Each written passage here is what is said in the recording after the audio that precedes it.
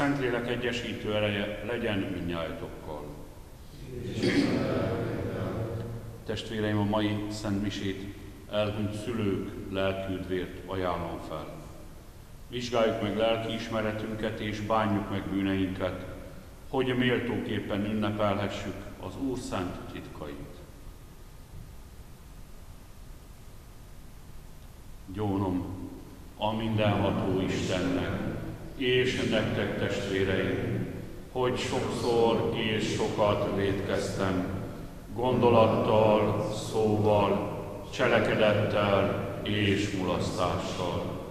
Én védkem, én védkem, én igen nagy védkem, kérem ezért a boldogságos, mindenkor szeprőtelen Szűz Máriát, az összes angyalokat és szenteket, és titeket, testvéreim, hogy imádkozzatok érettem Urunkhoz, Istenünkhöz.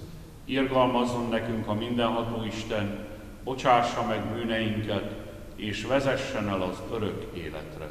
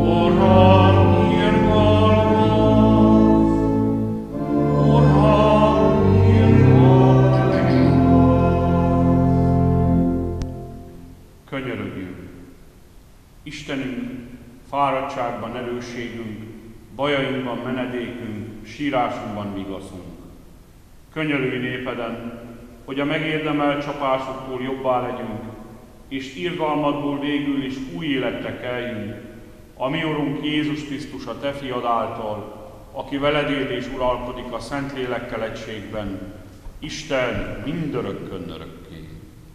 Amen.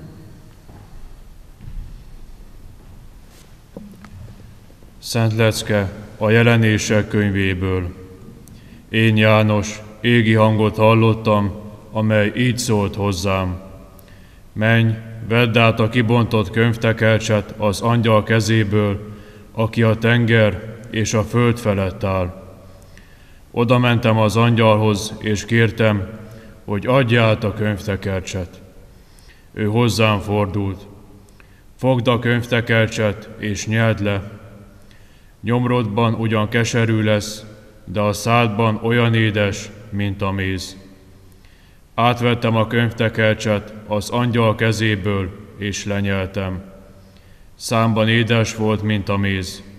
Amikor azonban lenyeltem, a gyomrom keserű lett tőle. Aztán ezt az utasítást kaptam. Ismét jövendőlnöd kell a nemzetekről, a különböző nyelvet beszélő népekről és királyokról. Ez az Isten igéje.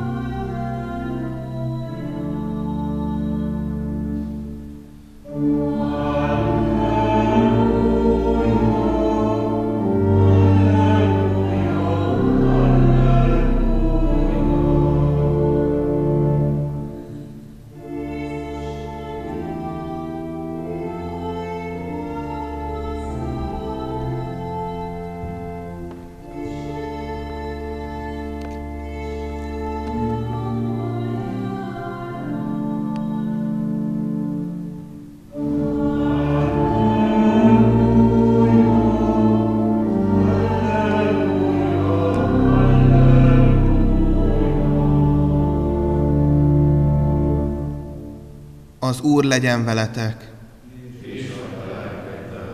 Evangélium Szent Lukács könyvéből.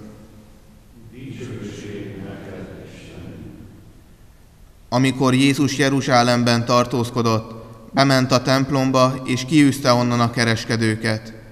Ezt mondta nekik, írva van, az én házam az imádságháza, ti pedig rablóbarlangát tettétek. Ott tanított azután minden nap a templomban. A főpapok, az írástudók és a népvezetői az életére törtek, de nem tudták eldönteni, hogy mit tegyenek vele, mert az egész nép odaadó figyelemmel hallgatta tanítását. Ezek az evangélium igéi. Kedves testvérek, régebben, amikor tévedtem valamiben, és utána úgy kezdtem a magyarázatot, hogy azt hittem, hogy, akkor nagyon sokszor megkaptam az azonnali választ, hogy hinni a templomban kell. És ezzel részben egyet is értünk, mert valóban kell, vagy legalábbis kellene hinnünk a templomban, de azt hiszem senkinek sem mondok újat azzal, hogy nem csak ott, hanem minden helyen és minden helyzetben lehet és kell is hinnünk. És hasonlóan van ez az imádsággal is. A mai evangéliumban azt hallhattuk, hogy a templom az imádságháza, és ez a mondat önmagában könnyen félrevezető lehet, mert úgy is lehet érteni, hogy akkor csak a templomban kell imádkozni, mert az való arra, az az imádság helye. És ez egy igencsak rossz érv lenne arra, hogy miért is ne imádkozzunk naponta rendszeresen. Aki csak a templomban akar imádkozni, az olyan, mint hogyha valaki csak étteremben akarna étkezni.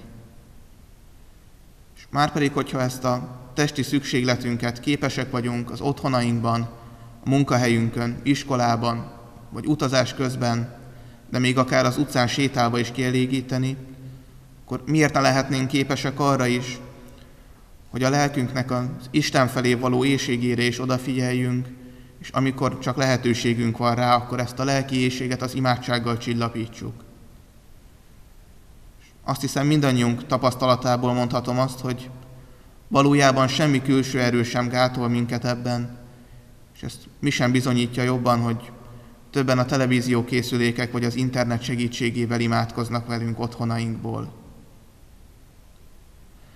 Az idén tavasszal zárva lévő templomok, most pedig a járványhelyzet miatt kényszerből vagy okos elővigyázatosságból otthonaikban maradó emberek a saját életükben tapasztalták meg, hogy imádkozni bárhol lehet, sőt, hogy imádkozni még az otthonainkban is lehet. És ez egyáltalán nem mond ellent annak, hogy a templom az imádságháza. Egyrészt azért, mert fizikailag az itt lévő épületben, templomban, itt valóságosan is jelen van az Úr Jézus az oltári szentségben, és emiatt, amikor a templomban vagyunk, akkor tiszteletünk és szeretetünk mellett az imádatunkat is kimutathatjuk azzal, hogy imádkozunk. De van egy sokkal mélyebb lelki értelme is. Amikor megkereszteltek minket, akkor a testünk a Szentlélek templomává lett, és így valahányszor imádkozunk, bárhol is tesszük ezt ezen a világon, akkor a saját testünkben, a Szentlélek templomában imádkozunk. És jusson ez eszünkbe mindig, amikor olyan helyzetbe kerülünk, hogy lényegében lehetetlenné válik eljutni a templom épületébe, hogy mégiscsak tudunk templomban imádkozni. És a napi imáinkkal igyekezzünk a hitünket éberen tartani az otthonainkban is, hogy az Ószövetség és Jézus szavaival mi is őszinte szívvel azt mondhassuk, az én házam az imádság háza. Amen. Kérjük testvéreim, teljes szívünkből, lelkünkből, ami Urunkat, Jézus Krisztust, aki kereszt halála árán meghozta nekünk a bűnbocsánatot és a kiengesztelődést.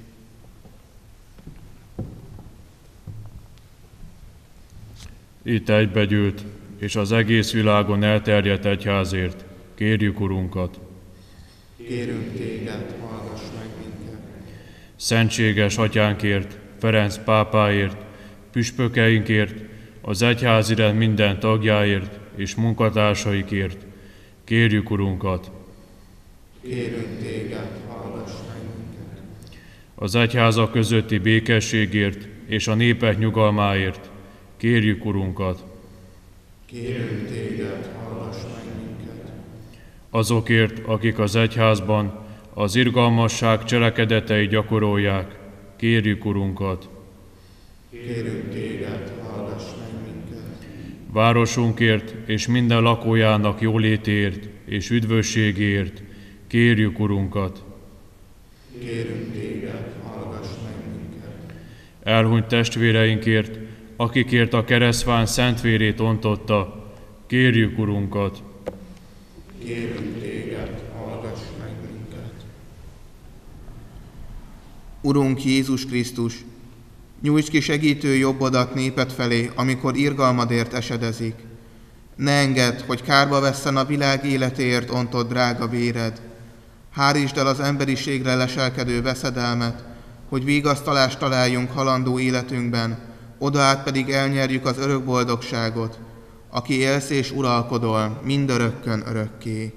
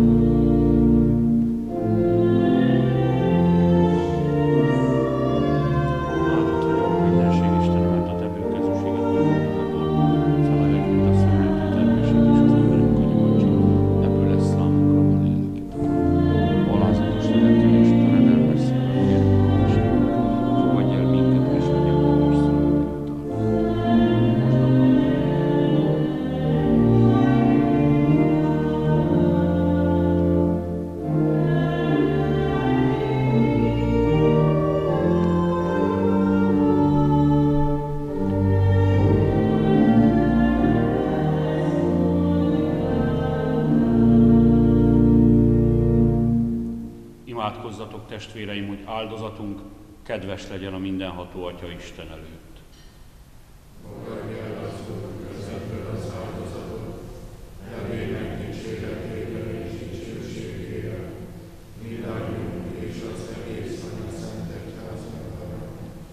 Kérünk Istenünk, fogadd el könyörgéseinket és áldozati adományainkat, hogy mi, akik bűneinkért ostorcsapásokat szenvedünk, megbocsájtó kegyelmedből azoktól megszabaduljunk, Krisztus, ami Urunk által. Amen. Az Úr legyen veletek. És Emeljük föl szívünket. Adjunk hálát Urunknak, Istenünknek. Méltó és igazságos. Valóban méltó és igazságos, illő és üdvös, hogy mindig és mindenütt hálát adjunk néked, mi, Urunk, szentséges Atyánk, mindenható örök Isten. A Te boldogságot teljes a mi dicséretünk nélkül is, mégis megadod, hogy jóságodért hálát adjunk. A mi magasztalásunk nem tesz nagyobbá téged, nekünk azonban üdvösségünkre válik, Krisztus a mi Urunk által. Ezért mi is az angyalok kórusához társulunk, dicsőítjünk téged, és újongva énekeljünk. Vagy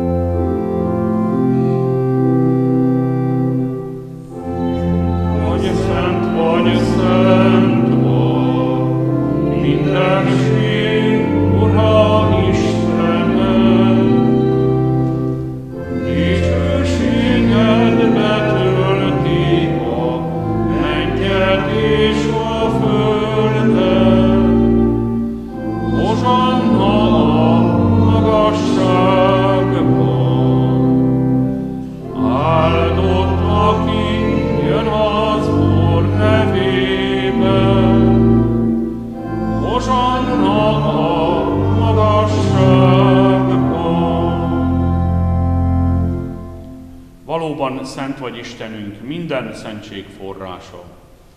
Kérünk, szenteld meg ezt az adományt, áraz le rá a szent lelkedet, hogy számunkra a mi Urunk Jézus Krisztus teste és vére legyen. Ő mielőtt önként átadta magát a szenvedésre, kezébe vette a kenyeret, hálát adott, megtörte, tanítványénak adta és így szólt. Vegyétek és egyetek ebből minnyájan, mert ez az én testem, mely értetek adatik.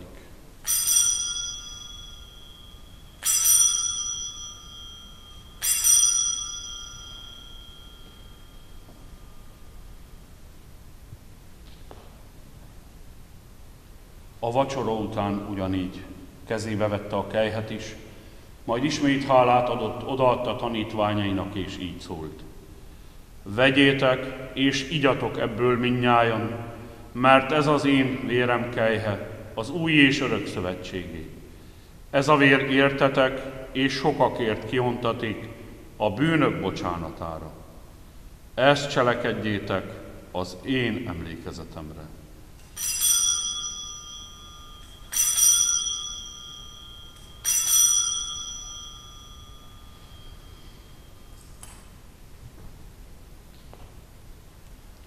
Íme hitünk szent titka.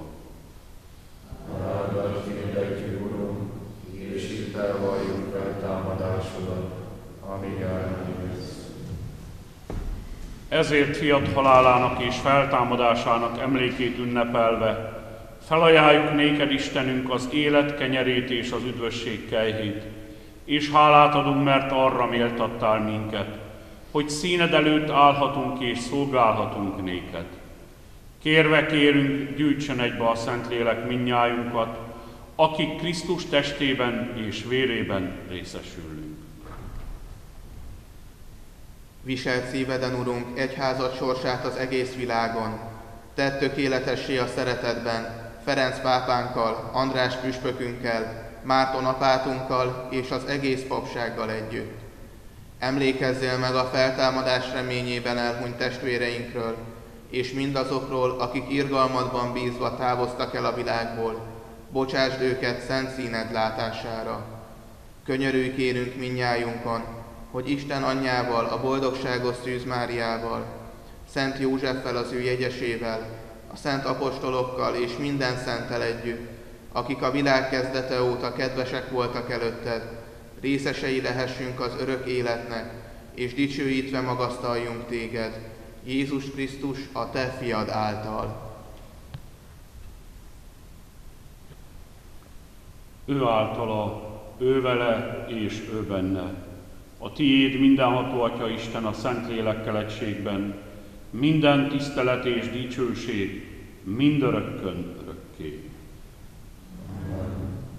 Most pedig imádkozzunk úgy, miként a mi Urunk Jézus Krisztus tanított minket imádkozni. Mi atyánk, aki a mennyekben vagy, szenteltessék meg a te neved, jöjjön el a te országod, legyen meg a te akaratod, amint a mennyben, úgy a földön is. Minden napi kenyerünket add meg nekünk ma, és bocsásd meg védkeinket, miképpen mi is megbocsájtunk az ellenünk védkezőknek, és ne vigy minket kísértésbe, de szabadíts meg a gonosztól. Szabadíts meg, kérünk, Urunk, minden gonosztól. Adj kegyesen békét napjainkban, hogy irgalmadból mindenkor bűn és baj nélkül éljünk, még reménykedve várjuk az örök boldogságot, és üdvözítőnknek Jézus Krisztusnak dicsőséges eljöttét. Mert Téd az ország, a hatalom és a dicsőség mindörökké. Amen. Urunk Jézus Krisztus, Te azt mondottad apostolaidnak, békességet hagyok rátok, az én békémet adom nektek. Ne védkeinket nézlet, hanem egy házat hitét.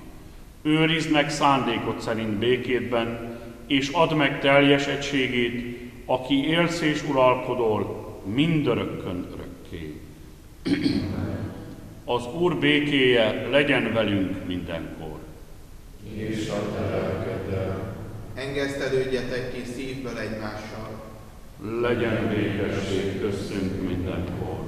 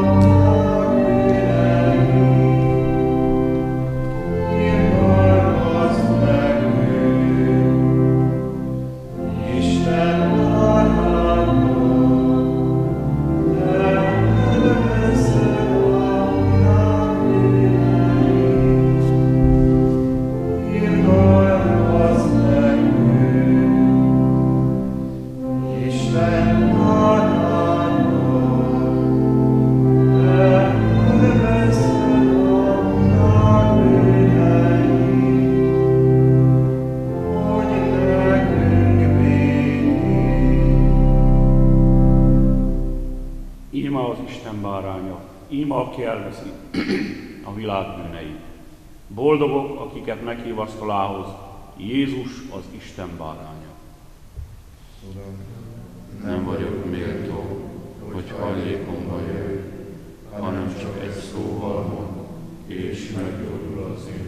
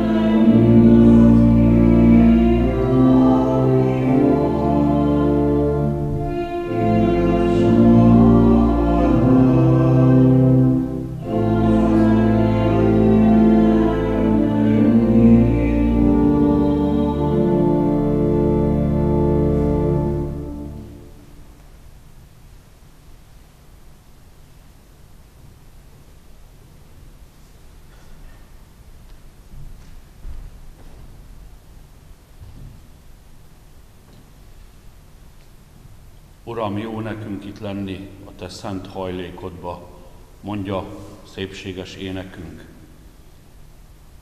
Valóban a templom az a hely, ahol a világ forgatagából, a világ zajából, a világ sűrűjéből egy kicsit kiszakad, kiszakadhatunk, és itt az Úrral együtt egy szent térbe lehetünk. Szakály, Öspörös úr, Gyuszitiszi szokta mondani, mikor itt szolgált Csornán, hogy szeret ide a Premontrei templomba bejönni, mert itt az az érzése, hogy átimádkozták a falakat. Ez is egy többlet, amit e szent hely, amit templomaink nyújtanak. Könyörögjünk. Kérünk Istenünk, tekints ránk irgalmasan megpróbáltatásaink idején, és neheztelő haragodat, amelyet bűneinkért méltán megérdemlünk, fiat szenvedésére tekintve, kegyesen fordítsd el tőlünk, Krisztus, a mi Urunk által. Az Úr legyen veletek. Áldjon és őrizzen meg benneteket és családjaitokat a mindenható Isten, az Atya, a Fiú és a Szentlélek. A Szent Mise áldozatot bemutattuk, mondjunk áldást neki.